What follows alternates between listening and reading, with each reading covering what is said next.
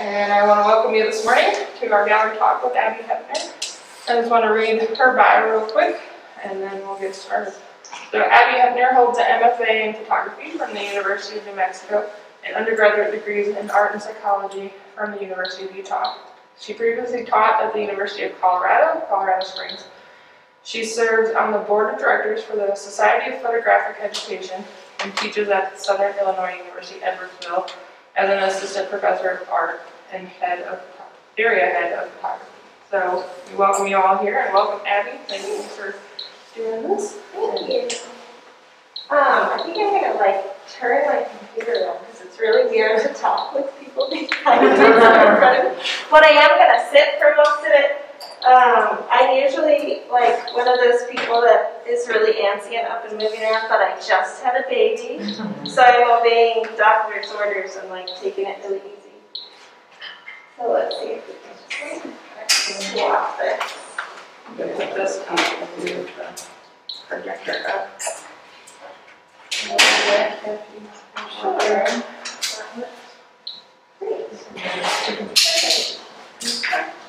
Okay.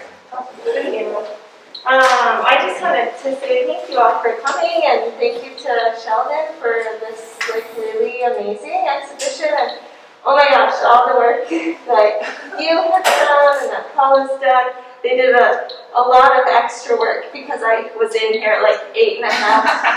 I'm nine months pregnant, waddling around. Um, so I really appreciate like all the work and the exhibition looks amazing and it's so fun to be in this space with all the other artists as well. Um, so, as uh, was mentioned by Teacher SIU, which is a fantastic program, we have amazing students and wonderful faculty, um, not too far from here. So, uh, my work oscillates between 19th and 21st century photographic technologies. That's kind of my big thing. I I love the kind of old photo technologies, but then really new technologies as well. Um, and I'm really fascinated with history, so that's part of why I work in that way. I'm always kind of digging at it conceptually and technically. Um, and you'll see from the work that I show you today, I use a lot of different mediums and methods to explore the conceptual concerns in my work. It's really important to me that they're always linked together. Um, and so I'm going to talk to you today a bit about work that's from a book that uh, was recently published by Daylight Books. Um, and it's nearly a decade worth of work that's broken up into seven different parts. And so two of the uh, bodies of work that are here today are featured in that book. And it's not like, unlike a lot of photographic books, it's not really a narrative. Um, and yet it kind of is, because history repeats itself.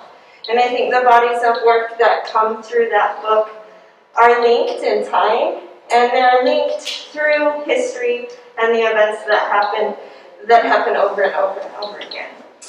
Um, and I think part of this is, for me, that uh, our ancestors' stories are epigenetic stories.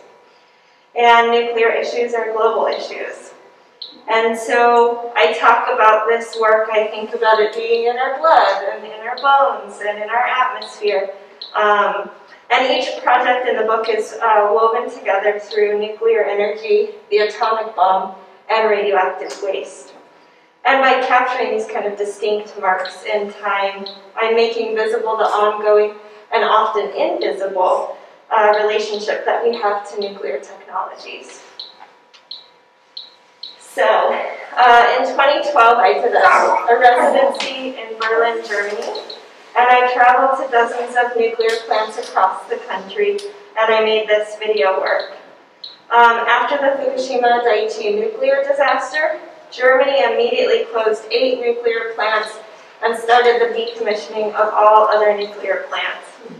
And so using my body in a performance-like gesture, I was creating a mark in time in the landscape surrounding the building as it was in flux between active and abandoned.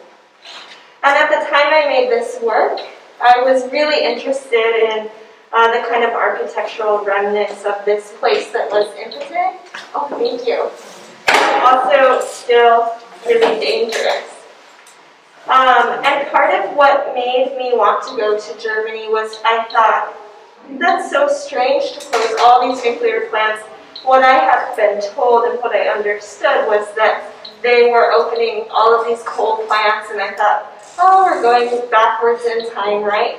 Um, what I discovered that that wasn't true at all, and that it was actually really hard for me to um, really gain any clear information about what was happening with energy policies at the time.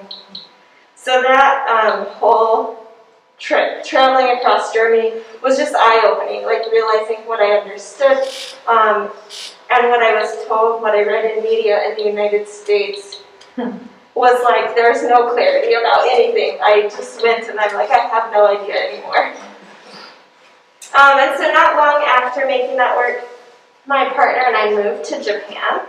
And he was working um, on nuclear aircraft carriers and submarines for the Navy. Um, and so that was really interesting, right? To have my partner kind of working in the field and myself like really questioning uh, what was going on in the world with nuclear issues at the time. And so while I lived there, I spent some time volunteering in the disaster zone up north that was left from the tsunami. Um, and that really gave me a new perspective to be living with people who were deeply, deeply impacted by um, both the tsunami and the nuclear disaster. Uh, often living in kind of temporary housing for years and years and years while still essentially paying a mortgage on the house in uh, Fukushima that they could never return to. Um, and I was really, I became really intrigued by these mascot characters. they were very strange. Um, they promoted everything from bridges to local prefectures. And up until the Fukushima disaster, they actually had an amusement park called Atom World. Um, and you have mascots like this famous one, Plutonium Kun, who shows you, look, you can drink plutonium, it goes right through your body. Um, it won't do anything to you, which I thought was very strange. um, and each of the nuclear power plants in Japan has its own mascot character that promotes the plant. So super strange. Um, so I made this project with these kind of nuclear mascots. Um, and I made this in part because actually Japan's nuclear energy propaganda came directly from the United States. So I had a sort of uneasy feeling about living uh, abroad and sort of just like criticizing the nuclear industry. But what I realized was that actually it was deeply a part of my like own culture. Um, and so part of Eisenhower's 1953 Atoms for Peace program um, paid for the infrastructure and um, the engineering to bring nuclear technologies to Japan and India. So that comes right from the US. In fact, the Fukushima Daiichi nuclear plant um, what is a GE plant, right? So we have the same kind of models here. So I modified this costume. I created this fictional character that I imagined was like a descendant from pro and anti-nuclear propaganda. And he's shown in scenes with reference to nuclear history. Um, and it, it kind of pokes fun at like Astro Boy and all of these other like early nuclear propaganda. And then the final image, I purchased a digital billboard and screened an image for 15 seconds every hour. And this image was shown in Shibuya Crossing, the busiest pedestrian crossing in the world with over 1 million people crossing a day. And so this um, public art intervention took six minutes of commercial advertising and replaced it with the image of this character who points out at onlookers and then back at himself, raising a question about the role of media and propaganda in man-made disasters. And part of the reason I did this was because at the time, every uh, newspaper in Japan was owned or received advertising money from Tokyo Electric Power Company. And so, you know, I had always been really interested in how people understand the ongoing disaster, how they make decisions about it, uh, and what do you do when your news source, right, relies on money from the very source that um, contributed to the disaster. And so in this, I'm giving nod to artists uh, Giacometti, Acconci, and Takeuchi, who um, are different artists with these gestures. Um, Takeuchi is the, they call him the finger pointing man, who was there at the um, Fukushima Daiichi plant and found this um, video. Basically, it's this recording that's 24 hours a day live streaming, and he just stands there for an hour pointing, raising a question. So in 2013, I moved to Albuquerque for graduate school, and I found myself once again in a place with like a deep history, uh, nuclear history. And the Waste Isolation Pilot Plant, or WIPP, which is uh, down south, um, is the nation's only underground repository for radioactive waste. And that's where they bury radioactive waste beneath salt. So I created this body of work that you see in this space called transuranic. And it's 13 9-inch by 13-inch uranotypes, or uranium prints, from every site in the western U.S. that ships radioactive waste to WIPP. So I spent a summer driving across the transuranic waste route, uh, the route that these giant trucks carry radioactive waste across the country on, and I photographed each site. Uh, nuclear plants, research labs, and site that, sites that built and tested the nuclear bomb. And I traveled to these places to bear witness and to understand them as non-places. These kind of huge swaths of land that we aren't supposed to notice, yet actually exist in many of our backyards. Um, and every nuclear site in the western US had something in common. They were really quiet, they were pretty boring, they're very banal. Um, and what I experienced in those places, I felt like couldn't be translated into a still photograph without indicating the body and without um, indicating the material presence, uh, a way to kind of make the invisible visible. So I talk a lot um, about uh, photographers and this kind of link to history that uh, nuclear and radiation has. And uh, photographers have always been pioneers of technology, um, but also about, they're also a big part of the um, people who discovered things about the body and the way that the world works. And early photographers were scientists and sometimes um, discovering accidentally phenomenon like X-rays and radioactivity. And so there's this link that I've always found really, really exciting in the history of photography. And uranium, I discovered, a radioactive element used in nuclear power and atomic bombs, can also make photographs. So sometimes people think that I'm like invented this, that I made it up. I didn't. um, believe it or not, like someone once upon a time made uranotypes, and I don't know. Like I can, I I know why it didn't stick. Let's say that, right? They're very, um, they're not very high contrast. They're this like muddy, kind of muted tone. Um, they're not particularly beautiful. Some people like disagree. They're they're haunting in their material, um, but they're also really difficult to make. They're 40, 40 minute exposures, which is really quite long. So. Um, I began my research into this process and I found a couple of these early images um, which was difficult to find. Um, they're from the late 1800s. There's not many uranotypes in archives, but I found these images and I shared it with one of the um, Japanese volunteers that I worked with when I was in Japan. And she shared it with her grandmother, who told me that the color of the uranotype looked like the color of the sky after the bomb was dropped in Hiroshima. And that was haunting to me. Um, and I knew at that point what I needed to do. So I went to New York where I worked with a photographer and a chemical handler who gave me a tutorial on making uranotypes. And over 90% of uranium um, used in the nuclear industry in the US comes from foreign sources. It comes to the East Coast and it's dispersed throughout the country and so just as I had done in the transuranic waste route, tracing these sites, um, I had traced this kind of import and dispersal.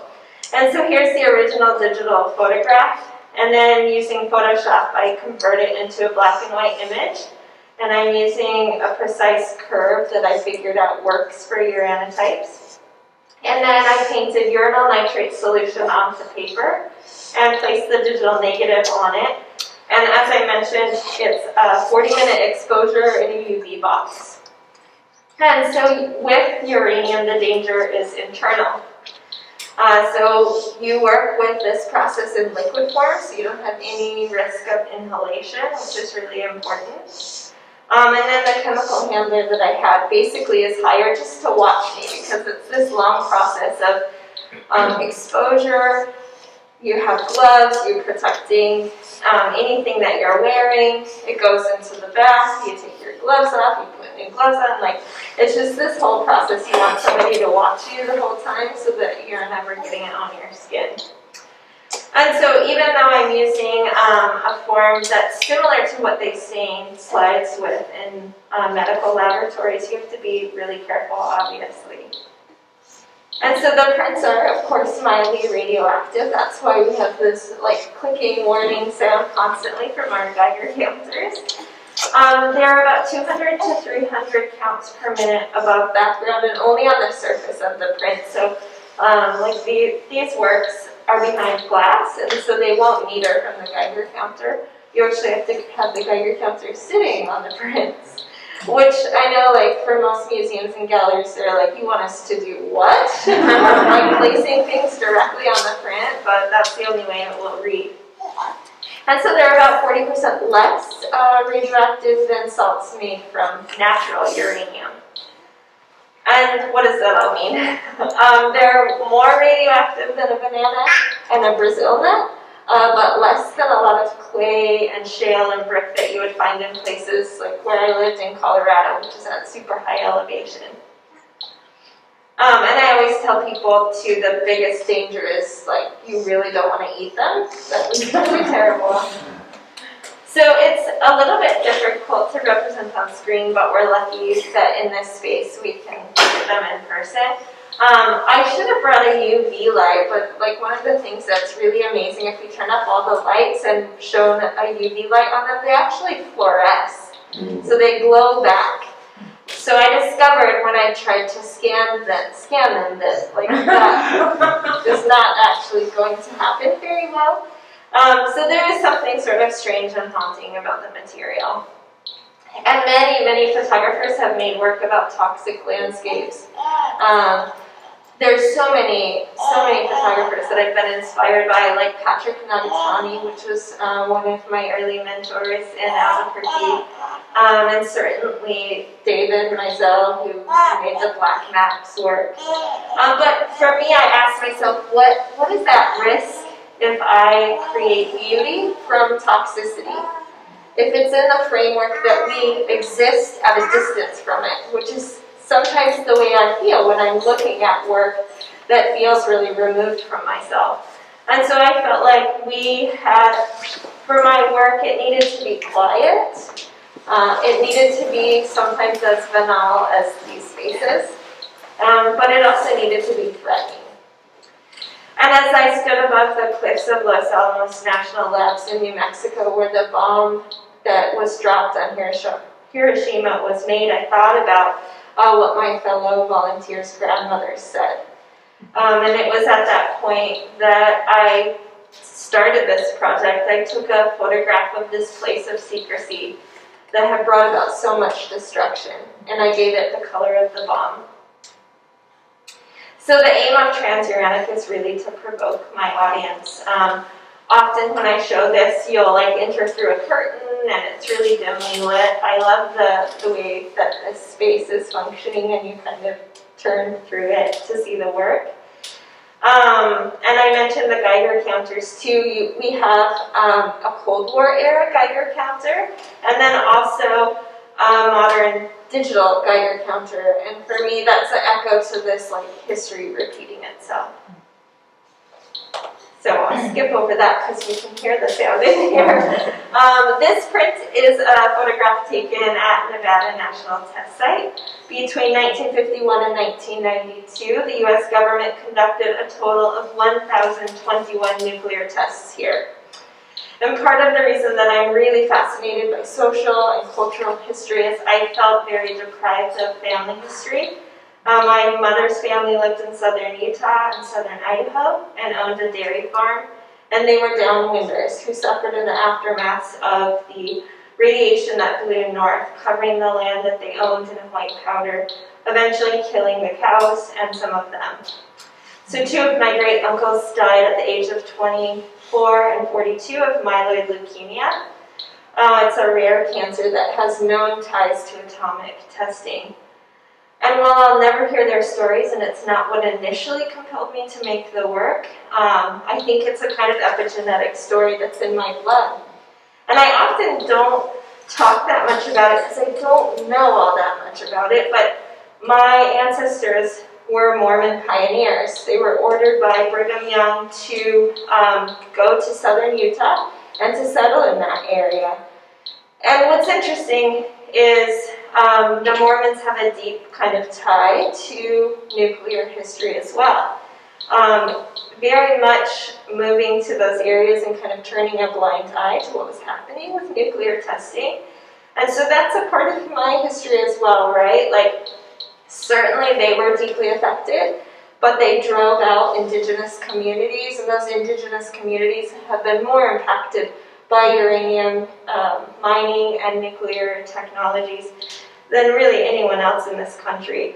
Um, and that's something that, you know, like you dig into your own family history and you realize this is like really quite dark uh, history. And I've thought the places that I've lived, that I have deeply, deeply loved, how much they have impacted indigenous communities. So in the book, there's a foldout that lists the name and date of all of the nuclear bombs tested in U.S. soil. Um, and of course, many others were tested outside of the U.S. But I think the history of downwinders in the U.S. is a story that's like rarely told. And so as a result of this rapid rise in nuclear technologies in the 1950s and 60s, the amount of carbon-14 in our atmosphere doubled. And this is a like kind of interesting phenomenon that I've always been fascinated with um, called radiocarbon dating. So we can date every living thing on Earth back to the atomic bomb, which is amazing. Um, tooth enamel, for example, whether it's in humans or animals, doesn't regenerate once it's formed. So the carbon-14 in your teeth um, represents the carbon uh, 14 in the atmosphere at the time of formation, and that never regenerates. So anyone born prior to 1955, when carbon-14 doubled, has very low levels of carbon-14 in their teeth, but for anyone born after, they're marked with what's called a bomb pulse. Mm-hmm. And we can date your bodies not only back to the bomb, but also um, we have a sort of general sense of the region in which you're from and its close proximity to nuclear testing, the areas that we're doing nuclear testing. That's just like wild to me, right? Like it just destroys the myth of like isolation and it connects us all back together and all back to this moment in time that is like the beginning of the Anthropocene. So um, in 2015, I traveled to Waynesboro, Georgia, and I did a project titled Control Room. And this was about Plant Vogtle, which is the first uh, nuclear energy reactors to be built in the U.S. in over 30 years. Um, they're scheduled to go online uh, actually next month. I feel like they keep coming up to be scheduled and then it gets delayed and delayed, but they've been building this since 2015. Um, and the US is said to be in this kind of nuclear renaissance, and there hasn't been any new plants built since the uh, Three Mile Island incident that happened in the 1970s. And so I was really fascinated by that. Um, and this series is all digital photographs, and one of the only projects that I've done in a more kind of documentary style. I went to this uh, place, to Waynesboro, to meet with residents to understand the way they felt about this plant, um, to meet with plant workers. And um, I spent a lot of time at Plant Vogtle and also with members in the community, those who opposed the plant, those who supported it. And my goal was really to learn from the community and to understand the benefits and concerns that came along with this new construction. And so, um, as I mentioned, my partner worked um, on nuclear aircraft carriers and submarines for a long time. So I have a lot of friends who are nuclear engineers, which is interesting because I'm not neutral in this, in my sort of approach. I'm definitely very critical. Um, but the work that I have done was very much from the beginning with so many questions. Um, and to me, the questions are a lot more exciting than any of the answers. That's what I like about um, doing art and particularly photography. But, and I feel like this is one of the more difficult photographic projects that I've made, right? Um, because I, had, I was really conflicted about my own sort of opinion uh, but I, I think it's our job as artists too to complicate things, not to simplify them. so um, that sort of like complicated response and reaction in myself is what kind of fuels the work.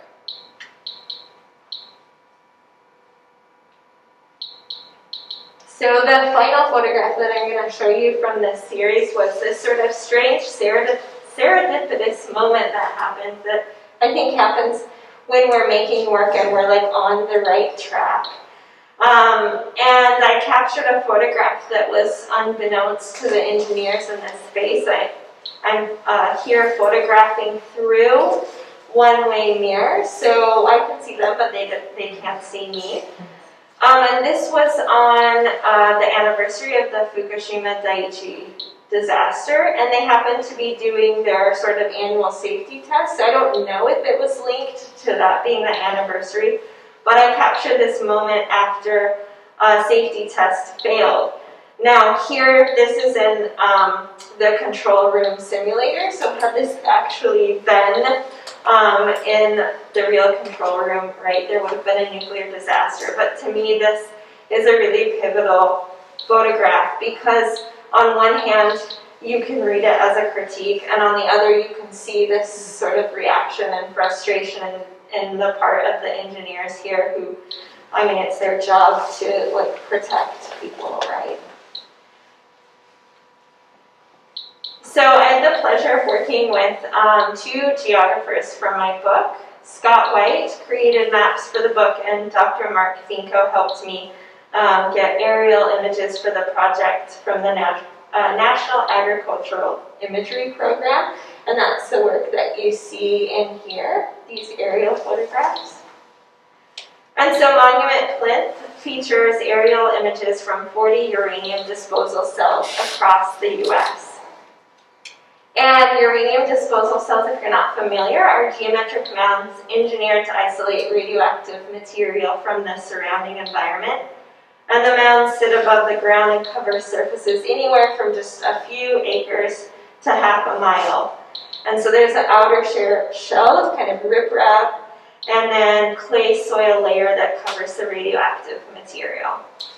And they're um, designed to allow for rain to fall on them and to run off without kind of putting um, radioactive material into the surrounding environment. And so typically, um, in places like the southwest where I'm from, um, the cells are made from mining, like old mining materials, demolished buildings at uranium mines, and the cells in the Midwest and East, like we have nearby here, are most commonly from uranium metal engineering and processing sites. So I printed and mounted each aerial image on black acrylic and laser engraved the cell detail into the surface, kind of reflecting this internal space or void. And I'm using Illustrator to render the files and um, the shape and depth of these disposal cells. And then the laser etching actually matches a corresponding depth. Um, and it decides kind of how intense to burn into the material. So here's an example of the laser on the photographic surface. So it's essentially like burning the photograph and burning into the acrylic, um, creating a three-dimensional depth.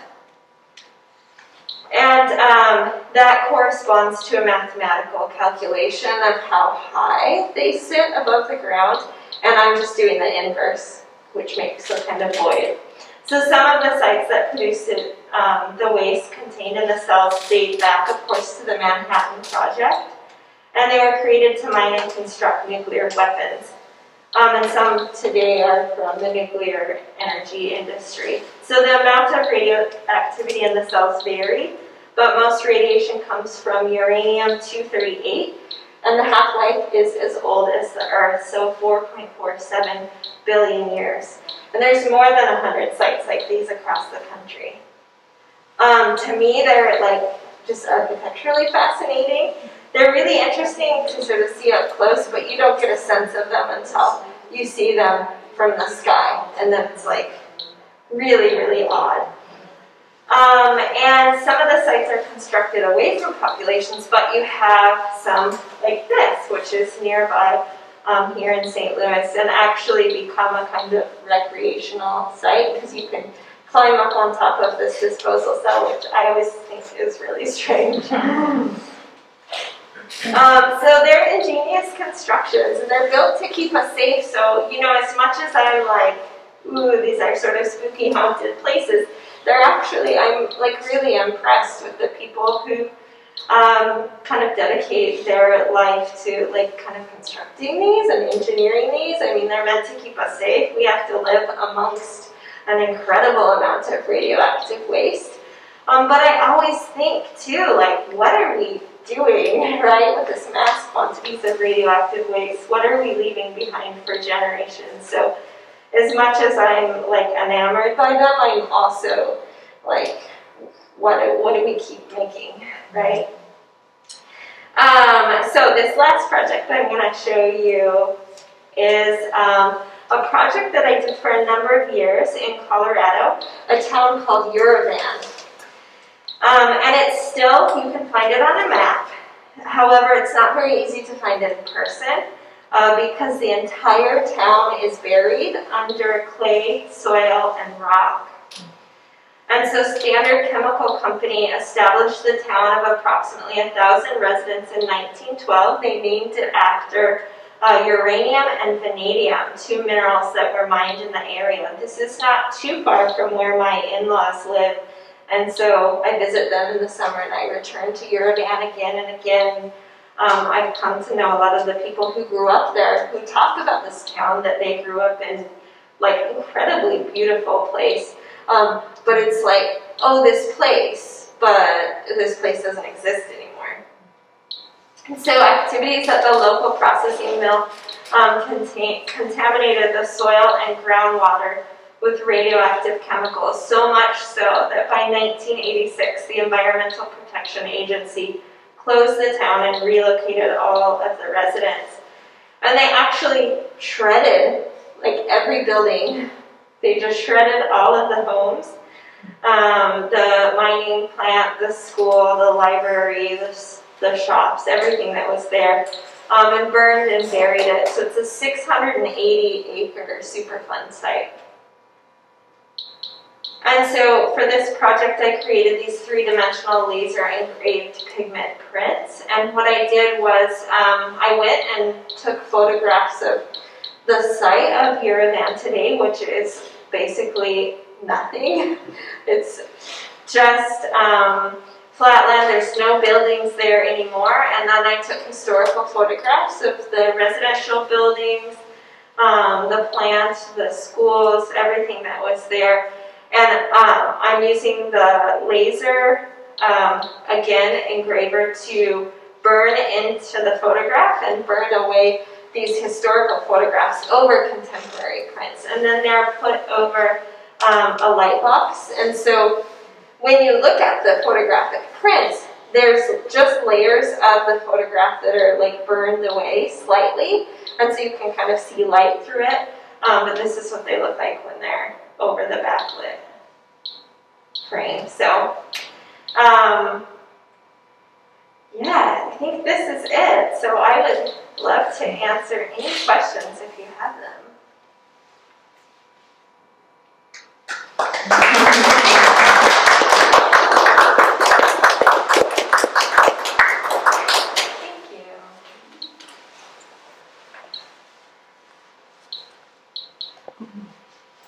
Well, I remember when uh, you know we were interviewing you uh, to teach here, right, a few years ago.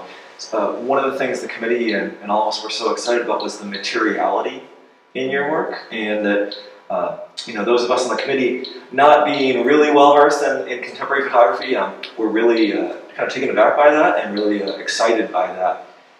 Where I think a lot of you know maybe photographers we think of kind of like the fidelity of the image and sort of like the, kind of like the crispness of that and the concept of that um, being kind of separate from materiality, like it's especially with the, the advent of digital photography.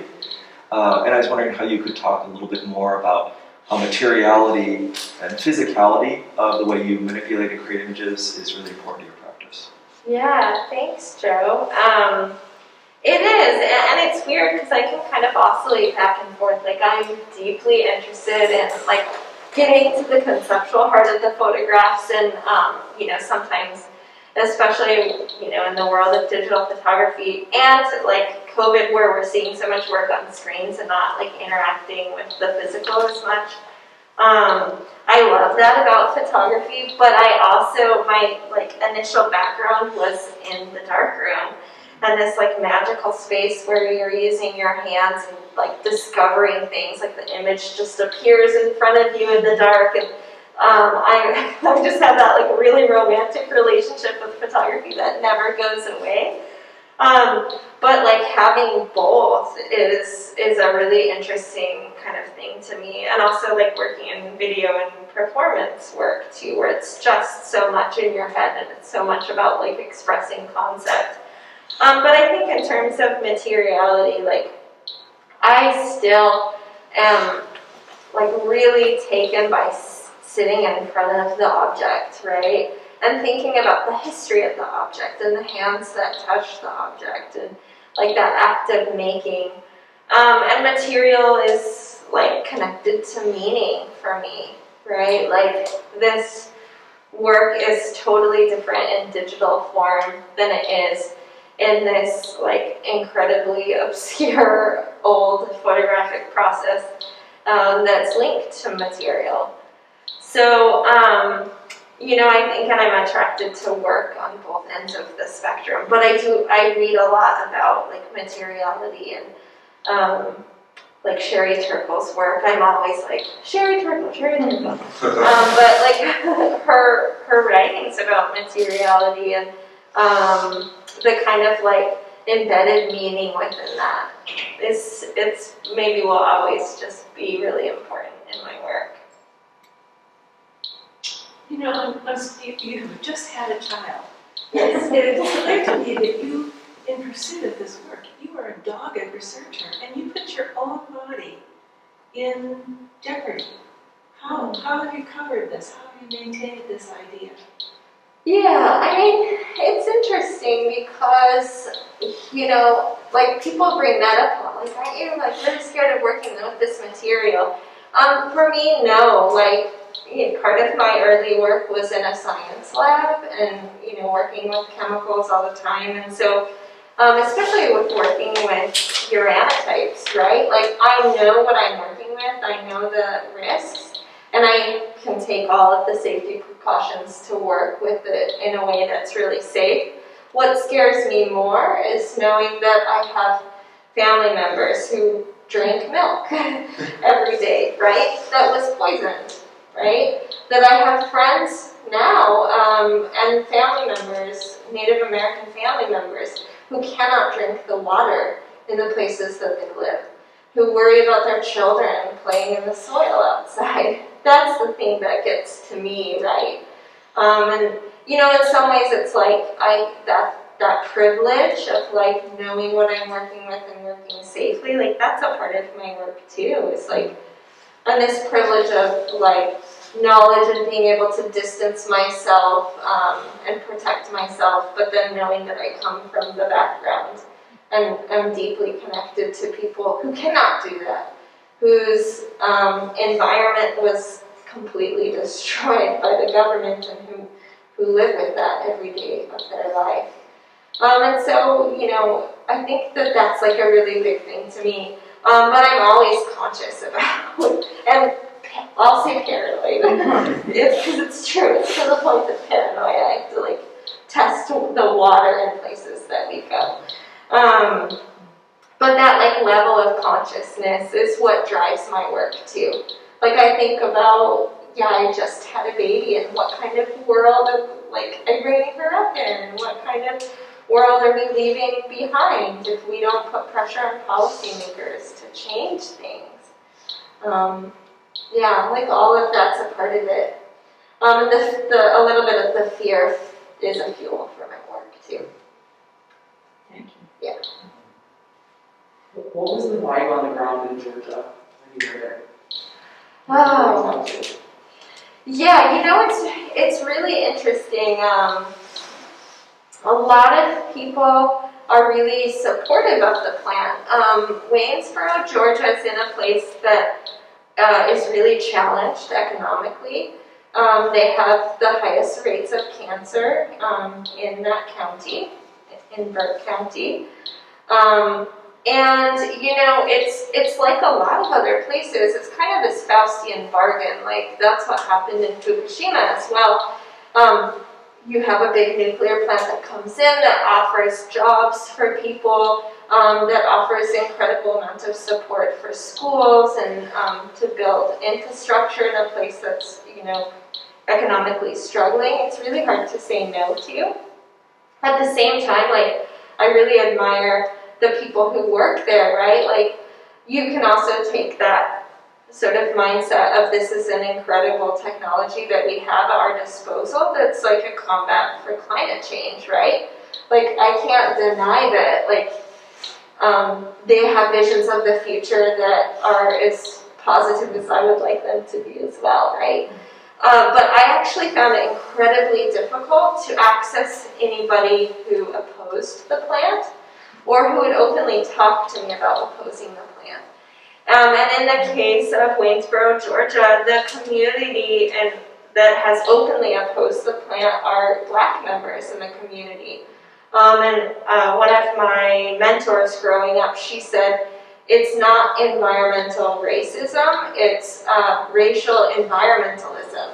Uh, because, you know, and in the case uh, Waynesboro, a lot of um, individuals had their land given to them um, because they had ancestors who were slaves. And there's a lot of plantation land, and so the land was given to them. And then this huge nuclear plant came in, and from the stories that I've been told, essentially stole the land away from them. Um, and there's this kind of uprising uh, some of the photographs, I didn't show them today, but I have our um, Reverend Charles Utley, who's at the kind of center of um, this program to educate people in the community about the effects and to prepare people in the community in case of a nuclear disaster. And so I have a photograph here um, of iodine tablets that um, Charles Utley was a part of this, like distributing these tablets in case of an emergency.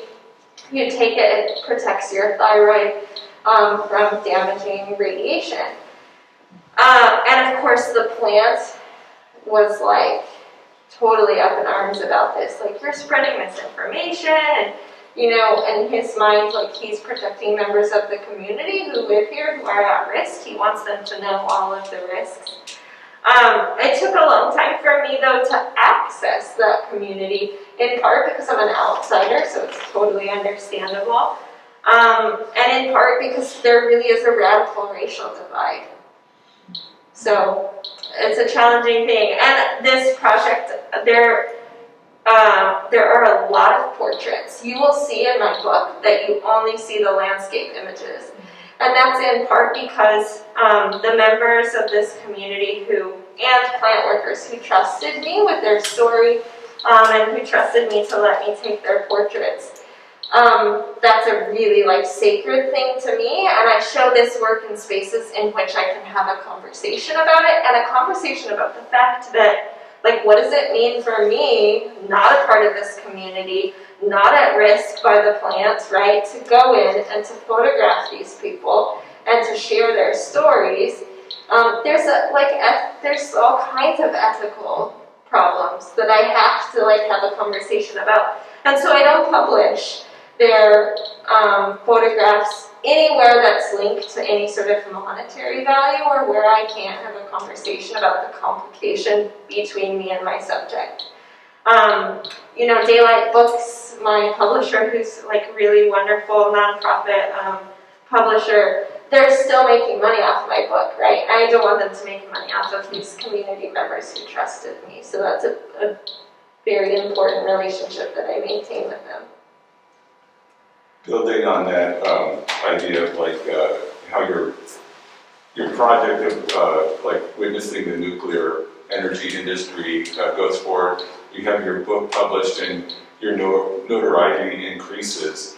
And you also talk about how um, you're interested in kind of complicating the subject and not necessarily uh, in, imposing your own political view on it.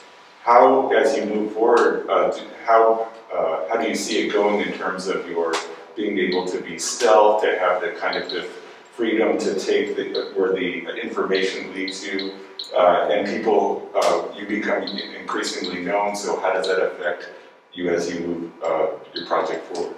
Yeah, good question. um, yeah, I mean that's hard too. At the beginning, I felt like, well, I don't wanna, I don't wanna like put my politics on it because then I lose access to the place, right? Um, and David Maisel does that a lot with his black maps. Like he doesn't take a strict. He's photographing like aerial photographs of toxic landscapes, right? And I like sometimes criticize that because you know he sells them for a lot of money, but doesn't take a stance on anything one way or the other. Um, you know, and that's in part because he'll lose access. People won't let him fly over these landscapes anymore. And I, I felt like that in the beginning, and then, you know, at some point it was like, well, I, I think the more I dig into this, like, I just can't be neutral. Like, I can't. And so I'm really open and honest about that, that I'm, like, very critical.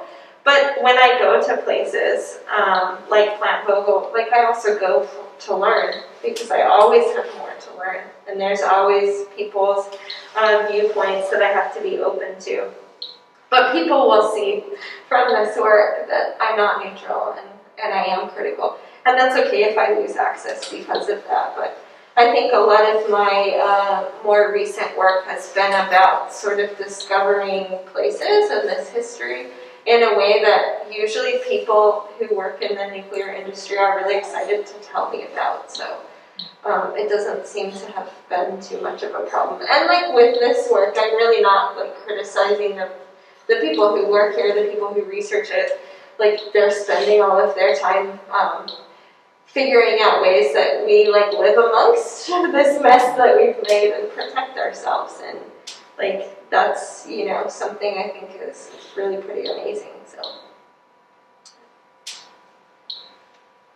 Um, have you connected with local groups and communities around this issue of radioactive waste and the risks, the health risks and the concerns involved? I mean, I'm aware just because of having friends in the activist community and kind of it's on the periphery for me. It's not like something that I'm super focused on, so I don't have a lot of like specifics, but you know, with the Weldon Springs area and and other areas locally, there's a lot of um, concern. I'm wondering if you've connected with people around that and um, if there's potential future work in that for you.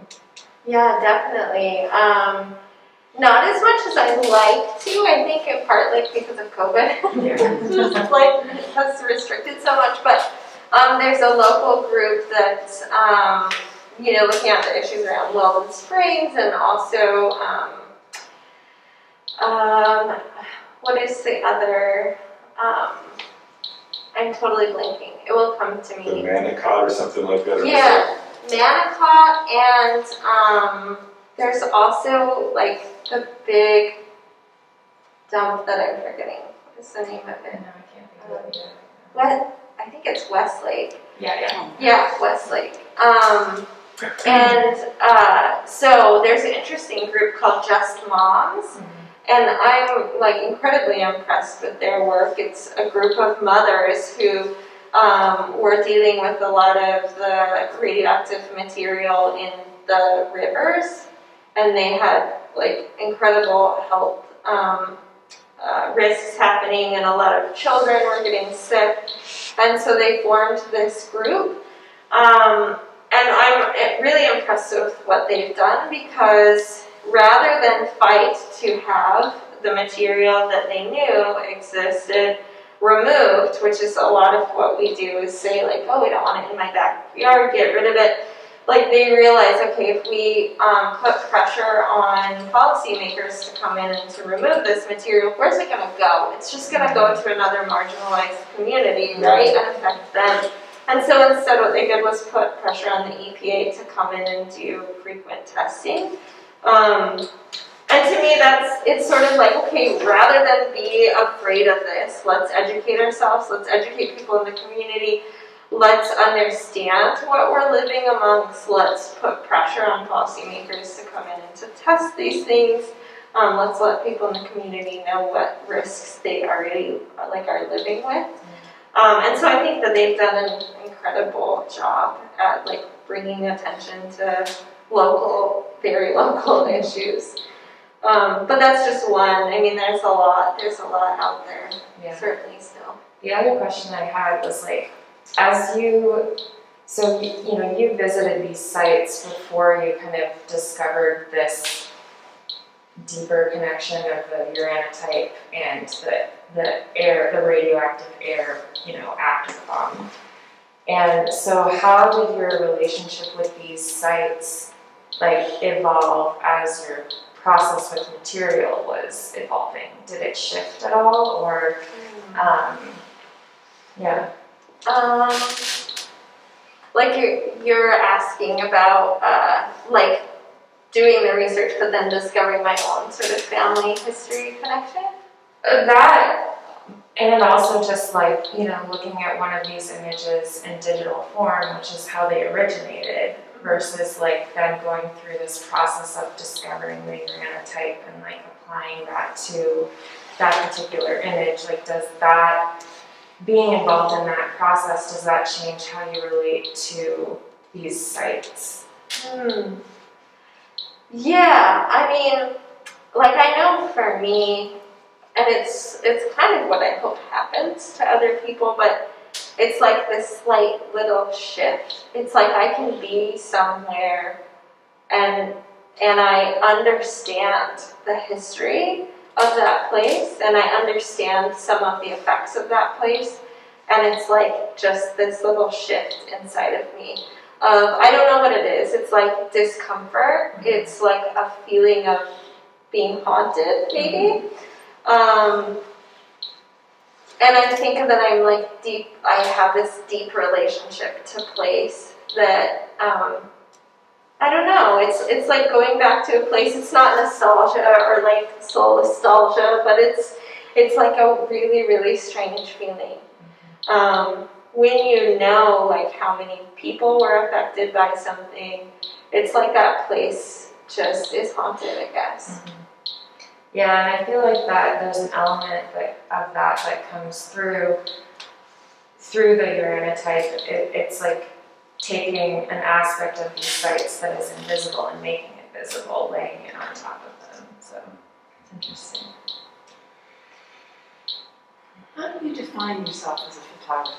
Do you think of this as documentary work, Hmm. as conceptually engaged, or um, you know, documentary artists, fine artists? Where I mean, you're dealing with materials in such inventive ways, but they're so documentary Yeah. based. How do you? How would you say if someone said, "What's you know, what is your basis in photography?" Yeah, I don't know. I mean, I don't really see myself as a documentary photographer because I'm not like I'm not just there documenting. Like I leave myself the space to sort of manipulate or to like guide people through something different. Um, but I don't know. I don't know that I have like a good definition. I mean, a lot, like to be honest, a lot of my work is really didactic. Like I'm somebody that often works in the obvious, right? Like I, I like I like things to have a level of clarity. I like collaborating with people, and um, that's why I use like geographers to help work on maps and to like pinpoint. So there is like a level of of engagement with the thing itself, like and the knowledge of that and the discovery of that. But um, I still hope, as like being an artist, like it's not a scientific pursuit. I don't have a hypothesis that I have to come to. Like I still, the questions are still more interesting to me. So I hope that people come to these um, and have some kind of emotional reaction whether that's like discomfort, right, or that they find something like visually appealing, you know, whatever that might be. I think that's just part of my process as an artist. It's still the kind of emotional pursuit that I'm after, more than just like the kind of intellectual pursuit. That's very interesting because it seems intellectually focused. But I see what you're talking about because they do forth an emotional. They really are. Yeah, There's a gut response. Yeah. I was interested in the title of the show, Redacted Landscapes, and that word redacted Yeah. calling to ideas about you know censorship or secrecy or sort of cover up, uh, and how you you talked a little bit in your uh, lecture here about the position of your work as clearly you have an opinion, but you're trying to also create uh, sort of work that's kind of objective in the sort of the imagery and, the, and that we're supposed to kind of uh, bring to it what we will.